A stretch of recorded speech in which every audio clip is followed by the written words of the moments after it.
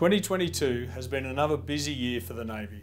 We have been called upon to support our fellow Australians across the country through fire, flood and COVID. We've also been called upon to support our partners around the globe. We have successfully completed these operations, exercises and deployments, building on our reputation as a world-class Navy. These achievements and successes are not possible without a professional and committed workforce, supported by family and friends. We have achieved a lot as a Navy this year and the team working behind the scenes have been seeking new and innovative ways to support you and your families. We have successfully implemented the Maritime Allowance Reform, which recognises the challenging and displaced environment we work in. We are implementing a distributed training model which is designed to provide flexibility for all of our people undertaking training. In 2022, this has resulted in an increase of over 1,700 training opportunities being delivered at the waterfront in the locations you all work and live. We have also achieved significant milestones for our Navy, such as the inaugural Australian Submarine Command Course and the first Sea Power Conference since 2019. We continue to contemporise how we are training and assessing our people to keep you all fit to fight. We have changed our physical fitness testing regime and implemented an incentive tier, and I'm proud to report that our Navy is overwhelmingly pressing for the top tiers. We have continued to implement the Navy Mastery Program, which is developing our people and their competence through maritime, technical and social mastery. Mastery Career Pathways has been a key delivery focus activity in 2022, concentrating on developing technical mastery.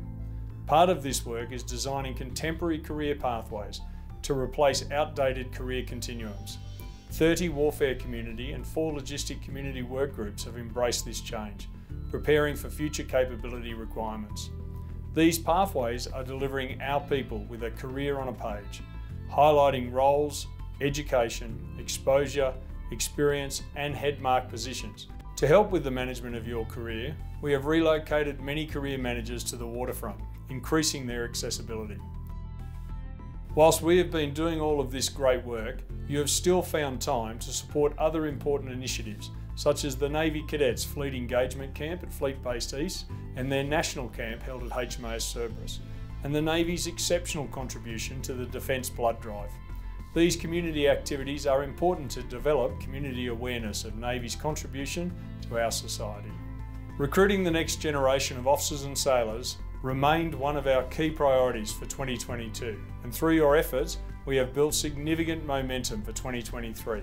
We have been investigating innovative initiatives to ensure we are an employer of choice in an increasingly competitive environment. This includes alternate entry pathways and community engagement aimed at better informing potential candidates of the opportunities that exist in the Navy. We can all play a role in recruiting our reliefs, so I encourage you to share your Navy story. As 2022 draws to a close, I would like to thank you all for your service and your friends and family for their ongoing support. I wish you all a Merry Christmas and a Happy New Year.